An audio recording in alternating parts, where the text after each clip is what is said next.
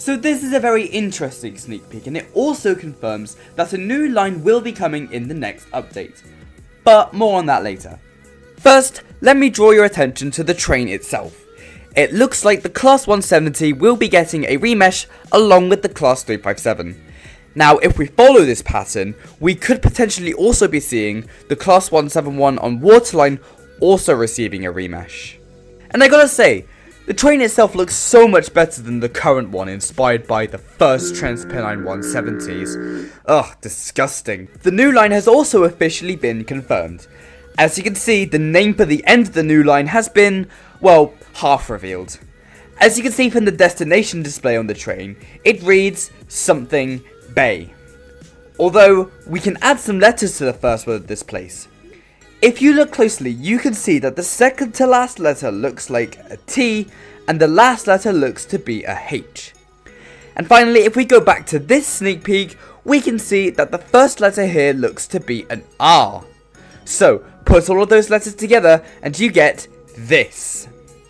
If you want to take a guess at what the full name will be, leave your guesses in the comments. The actual scenery of this place is really cool, and considering how urbanized this place is, I feel like this sneak peek was taken around the area where this sneak peek was taken.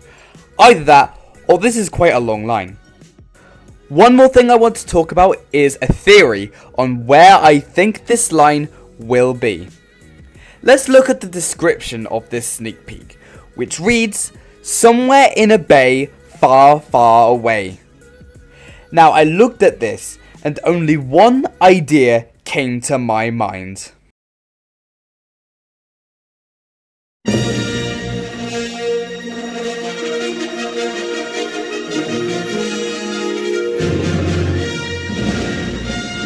Yes guys, SCR is heading towards a galaxy far far away as SCR will be collaborating with Star Wars. Okay, no, but seriously, considering that the train is heading towards a bay, that could possibly mean that this line is located near the area of Llyn by the Sea. This is further backed up with the fact that it seems that the entire Llyn extension between Edgemead and Llyn is getting upgraded. And finally, the far far away part could mean far far away from Stepford. And that's it for this sneak peek. Let me know what you think of this theory down in the comments. Thanks for watching, and goodbye.